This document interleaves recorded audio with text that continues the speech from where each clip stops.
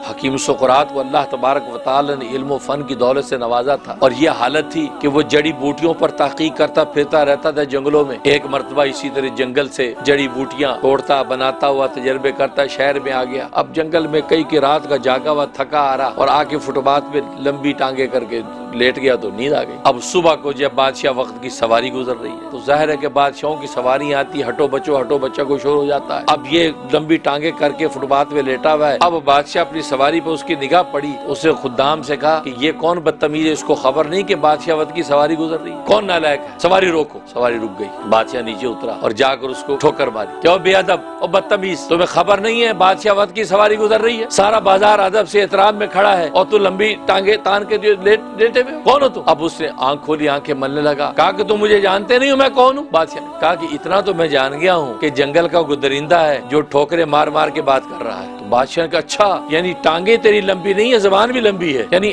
आगे से बदतमीजी करता है। मैं बादशाह हूँ। अभी उठ के ओ अच्छा बादशाह आप बादशाह हैं? तो क्या हुआ? कहा कि, तुम्हें खबर नहीं है। मेरी सवारी गुजर रही है। सारा बाज़ार एहतराम में खड़ा तुम एहतराम में क्यों नहीं खड़े हुए? कहा कि, बादशाह सलामत, आप में कौन सा कमाल है? कहा कमाल? मैं इस सल्तनत का बादशाह हूँ। शाही ताज मेरे सर पे है। मेरा खूबसूरत महल है। मेरी यहाँ अस्करी और लश्करी ताकतें हैं। मेरी यहाँ शाही सवारियाँ हैं। मेरे हरम के अंदर इतनी शहजादियाँ हैं। कहा कि, बादशाह सलामत, आपने ये जितने कमालात बताए हैं। ये तो सारे आपके बदन से बाहर के हैं। आपके अंदर का कमाल बताइए। अगर खूबसूरत महल है तो खूबसूरत होना तो महल का कमाल हुआ। आपका कमाल तो नहीं है। अगर खूबसूरत शहजादियाँ आपके हरम में है तो खूबसूरत शहजादियाँ होना शहजादियों का कमाल है। आपका तो नहीं है। आप तो सारा अपने बाहर का कमाल बता रहे हैं। इसका मतलब अगर बाहर की चीज़ों की वजह से आप बाकमाल हैं तो घर जाके जब आप अपना ताज उतार देते होंगे तो आप बेकमाल हो जाते होंगे। आप अपनी जो है शाही जोड़ा उतार देते होंगे, आप बेकमाल हो जाते होंगे। शहजादियों हरम से दूर हो जाते होंगे। आप बेकमाल हो जाते हो। आप अभी बाज़ार में खड़े, अपने महल से दूर आ गए, आप बेकमाल हो गए। तो गोया कि जिन खारजी चीज़ों की वजह से आप बाकमाल हैं, वो चीज़ें जब आपसे दूर हो जाती होंगी तो फिर आप बेकमाल हो जाते होंगे। मुझे तो ये बताइए कि जब आप नंगे बदन हो तो फिर भी वो कमाल आपके साथ लगाओ, वो कमाल मेरे सामने लाइए, फिर मैं आपको बाकमाल समझ जब हकीम सुकरात ने ये बात कही तो बात ये हक्का बक्का रह गया। और फिर उसके बाद हकीम सुकरात कहता है, अब आप अपना लगोटा बांधिए, नंगा बदन। मैं भी लगोटा बांधता हूँ। और दोनों नंगे बदन होकर दरिया में कूदते हैं। फिर देखते हैं कि दरिया की जड़ में से, उसकी तह में से मोती निकाल के कौन लाता है और कौन लाश बन के वापस आता है। ज़ाहिर है कि अंदर कमाल होगा तो गोता, जन गोता लगा के तह में जाके मोती लेके आए, लेकिन जिसको तैराकी नहीं आती, धक्के खाएगा, वो डूब के मुर्दा लाश ही वापस आएगी। बात से भाई, इसको क्या मुँह लगा लिया भाई? सुबह सुबह गले पड़ गया तो हकीकत ये है, अंदर के कमाल को असल में कमाल समझना चाहिए। और जब ये कह देता है, इंसान इस दुनिया में रह के अशद